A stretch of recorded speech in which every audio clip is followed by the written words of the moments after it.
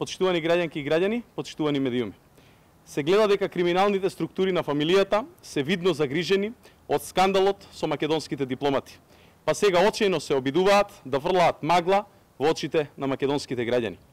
Вистината е сосема поинаква од она што се обидуваат да го прикажат од ВМРО да ДПМН.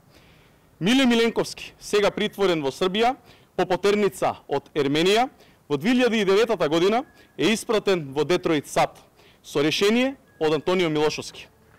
По 4 години, повторно со ова решение од Милошовски е пратен во амбасадата во Вашингтон. Во 2011 година, исто така со решение на Милошевски е испратен во конзулат во Чикаго, каде останува до 2014 година, а по само една година со решение на Никола Поповски е испратен во Опсе во Виена. Граѓаните заслужуваат да ја знаат вистината. А вистината секогаш излегува на виделина.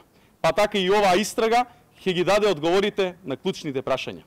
Дали во времето на ВМРО ДПМН имало цела разработена криминална шема, раководена од Мијалков, во која вакви видови услуги се нуделе на црниот пазар. Антонио Милошовски, кој патем има судска пресуда во Германија, треба да одговори дали помагал во обезбедувањето на приватни авиони за оваа криминална шема. Дали тие пари завршувале во Белиот дворец? И дали токму Антонио Милошовски во име на Сашо Мјалков и Груевски до ден денес одржува блиски контакти со овие слични структури? Ви благодарам.